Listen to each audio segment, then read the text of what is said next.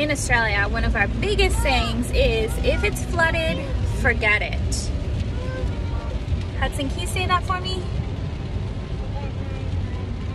Say, if it's flooded, forget it.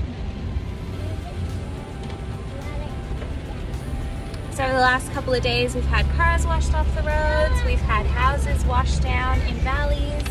Um, so we're just, we're gonna be safe. We're gonna drive around a little bit and just see what's happening out there. Um, but yeah, it's, it's pretty interesting to see. Okay, quick stop for snacks and coffee and off we go.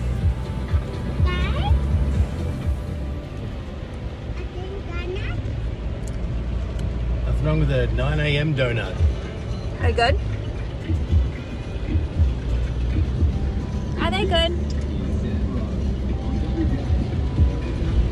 Yeah.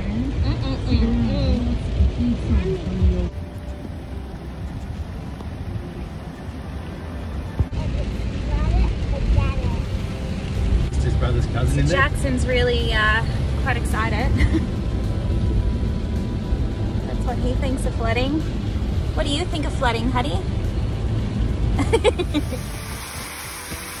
so we started driving through some flood water here. It was really shallow and we have a snorkel on our car. Um, so because we could clearly see the road underneath, it was pretty safe to slowly drive through that. So we definitely made sure it was safe.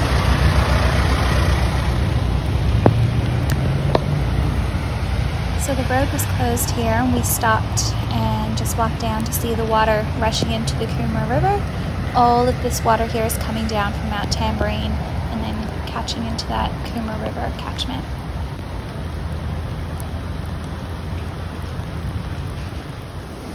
Here we are.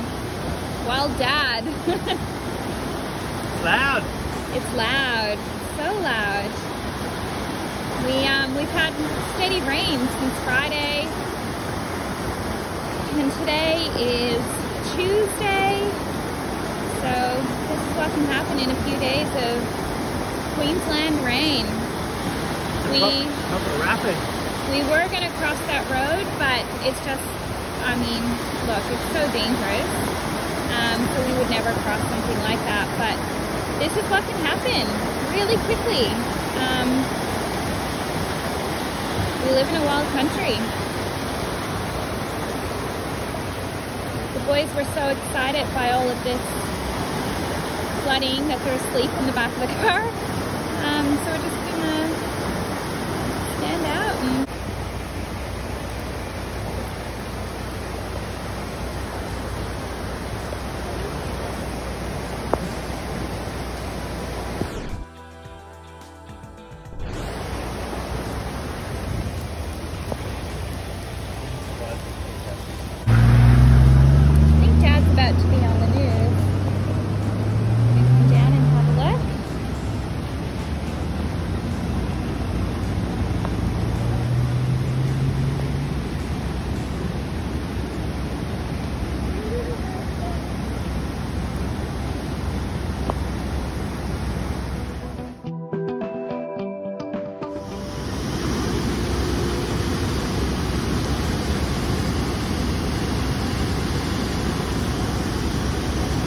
boys are mesmerized.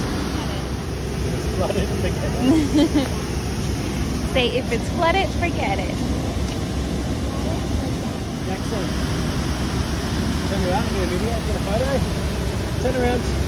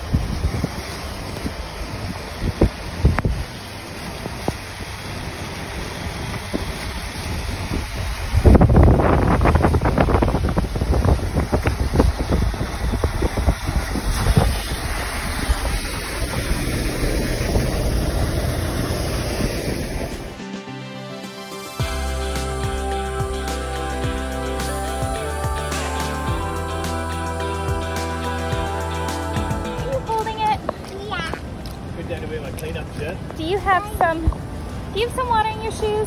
I do not have water in my shoes. Do you have some water in your shoes? I do not feel water in my shoes. I do not feel water in my shoes. No water in your shoes?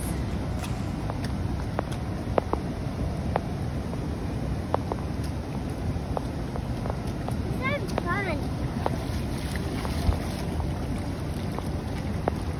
Dad, that's just another one. All right, in you go.